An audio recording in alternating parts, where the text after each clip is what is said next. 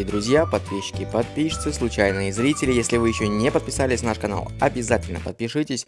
Сегодня я вам расскажу про удивительного зверька шиншиллу. Естественно, реал обитания которого – пустынное высокогорье Ант в Чили, Перу, Боливии – и Аргентине. Шиншилла быстро становится любимцем всем семьи, но ухаживать за ней необходимо взрослому человеку, а не ребенку. Очень мягкая шерсть и миролюбивый характер этого зверька не оставляет равнодушным никого. Однако содержание шиншиллы отличается от содержания морской свинки, крысы или хомяка. Особые условия, необходимые шиншилле, связаны с условиями жизни зверьков в природе. Вообще шиншилла находится в отдельном от грызунов семействе, семейство шиншилловые. В нем всего два вида – короткохвостые и длиннохвостые шиншиллы. Более того, этот зверек относится дикобразообразные. В условиях живой природы шиншиллы днем спят. Это самое жаркое время, а вот ночью бодрствуют, когда температура в горах сильно падает. Густая и теплая шерсть помогает шиншилле легко переносить перепады температур. Более того, шерсть этих животных считается самой плотной шерстью. Только представьте себе, из каждой а, волосяной луковицы растет не один волосок, а 60 и даже до 70. Благодаря этому в шерсти шиншиллы не заводятся паразиты, как у других пушистых зверьков, зверьков а вот для очищения своей густой э, шерсти, для своего меха, шиншилла купается в вулканической пыли или пепле. В домашних условиях шиншилла принимают ванны из песка. И, как правило, в такой песочной ванне используют тальк. Но вулканическую пыль можно встретить в зоомагазинах сегодня и это не исключено. На этом мы остановимся ниже. Еще одной интересной особенностью является отсутствие потовых желез.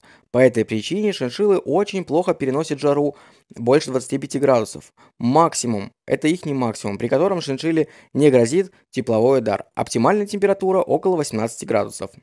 Кормление шиншилл – очень важный момент содержания этих животных. Основным кормом в домашних условиях являются твердые травяные гранулы. Такой корм э, продается в каждом зоомагазине. Его используют не только для шиншилл, но и для кроликов и морских свинок.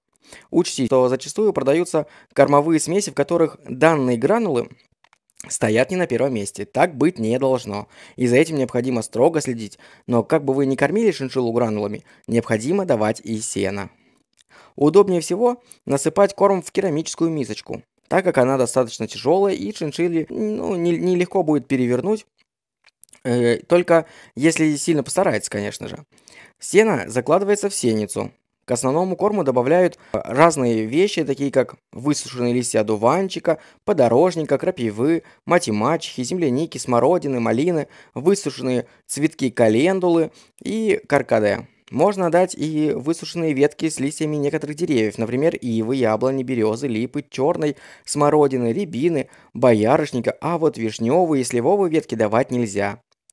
Также дают сухие плоды яблок, морковь, шиповник и даже боярышник. Обратите внимание на то, что все должно быть сухим, это очень важно. Еще один нюанс – листья. Ветки и цветочки дают не все сразу. На день выбираю всего 1-2 вида, по 2-3 листочка.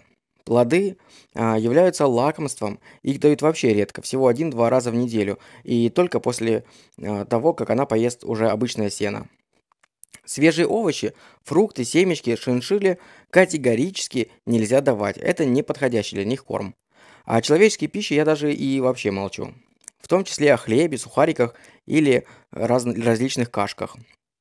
Такие продукты провоцируют понос. Понятное дело, что в каждой семье есть дети, кто-то что-то да всунет в клетку, и если понос случился, если этого избежать не удалось, шиншилле придется сесть на свою, своеобразную диету такую. В таком случае сено и дубовая кора будет основным кормом. Вместо воды отвар дубовой коры или гранатовые корочки. Давайте перечислим, что нельзя давать шиншилле. И первое, что нельзя давать, это орехи и много свежего корма. Семечки подсолнуха, с подсолнуха являются вообще убийством для их печени. Не увлекайтесь курагой и черносливом.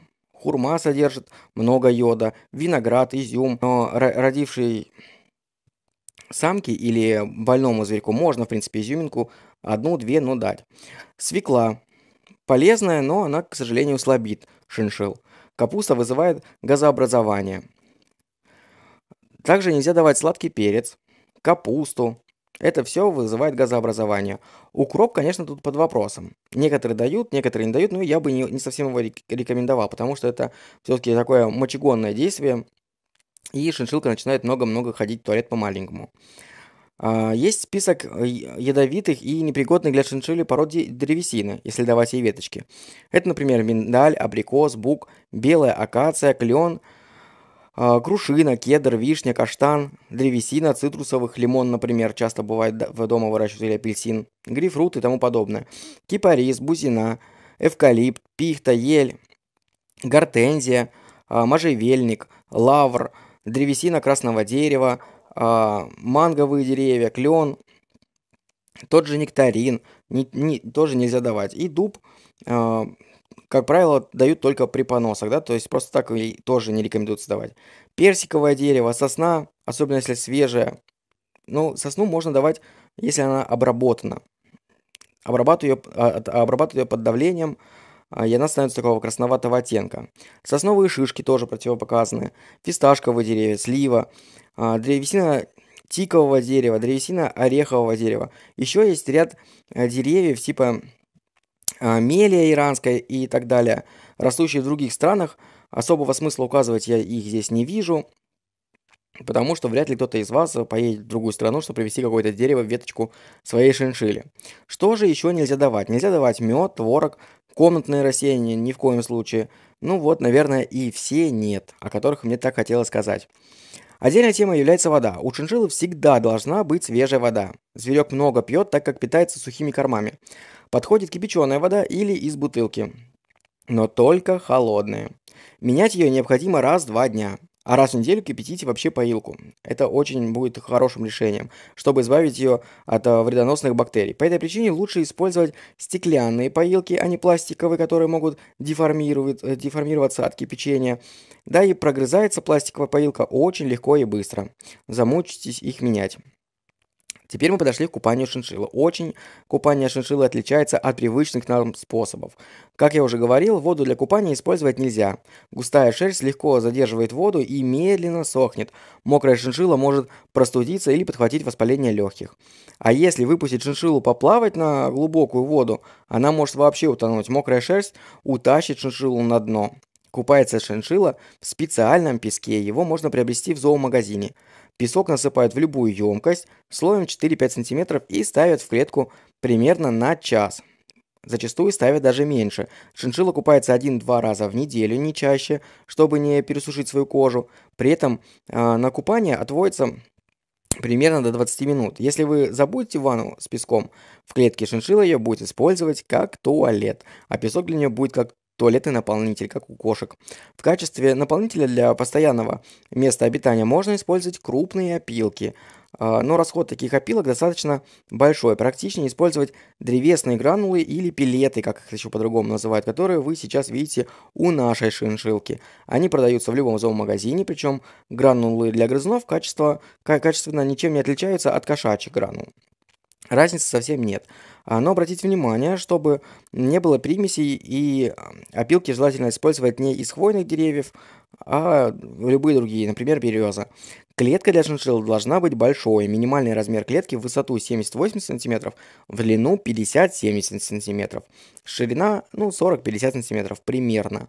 При этом, а, чем меньше пластиковых деталей, тем лучше, так как шиншиллы любят их поподгрызать. В клетке укрепляют несколько деревянных, можно, ну, в основном полочек, конечно же, на разной высоте, специальный домик и беговое колесо или беговая тарелка. А, последний тренажер, так называемая тарелка, имеет сплошную поверхность, но его сложнее найти в продаже. Опытные шиншилловоды предпочитают не клетки, а вообще витрины.